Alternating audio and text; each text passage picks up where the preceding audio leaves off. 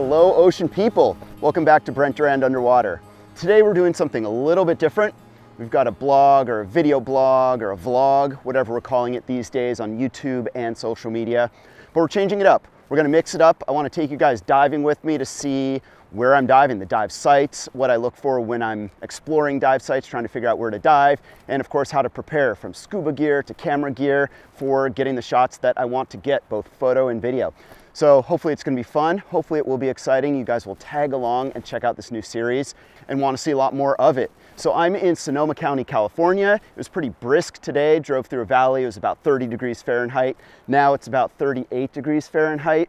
So I've been looking at the water a little bit here and it looks pretty calm. There's no wind, which is great. There's a little more groundswell than I'd like, which means a lot of surge underwater pulling you back and forth. I think with some of these sets coming in, it could pull you back and forth maybe five, six feet, like two meters. Could be a lot, kind of sloppy for shooting photo and video. So I think what we're gonna do is go down the coast, somewhere a little more sheltered. So let's go do that. Let's see if we find a better dive site. Yeah.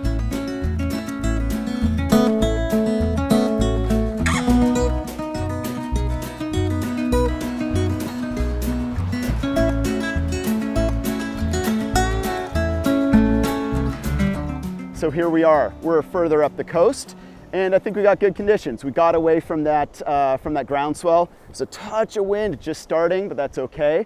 Um, but look down here.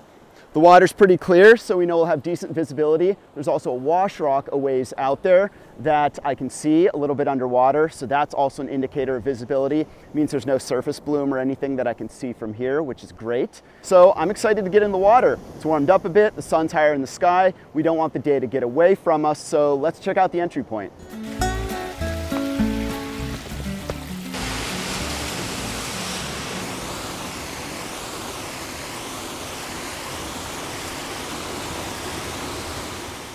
Okay, so here we are. Found a nice place to enter the water. It's actually a creek runoff that helps get down from cliff level to beach level and it's got a nice little trail. There are a few obstacles to navigate over on that trail to get down here, but for the most part it's okay. What I'll probably do is bring my gear down tank at once, then I'll bring the camera down and then I'll just come down in my dry suit with weight versus trying to carry all that stuff all together. It's probably too much for some of those obstacles.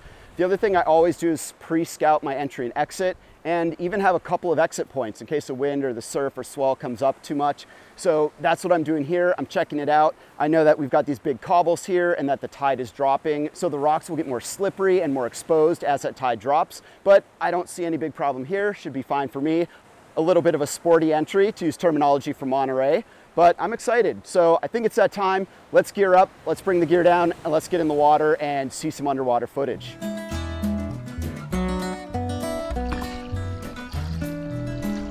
That water feels so good.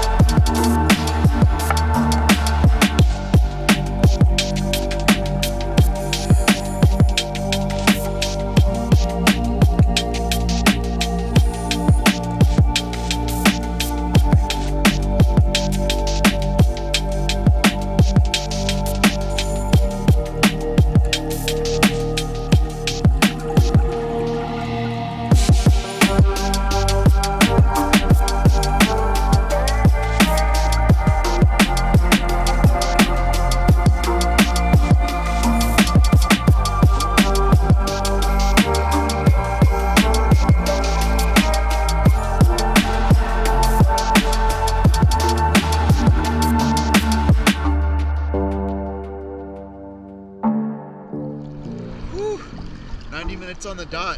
Fun, fun dive. Lots of lingcods just coming up and saying hi. As soon as I get the lights positioned, they just went away. All right, let's get out and circle back.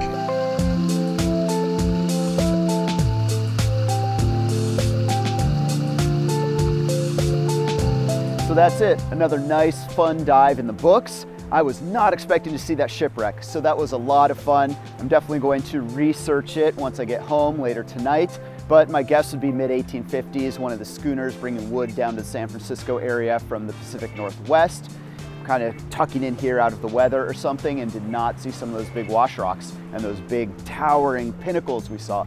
But I'll look that up afterwards, probably leave notes in the comments or in the description, so check that out later.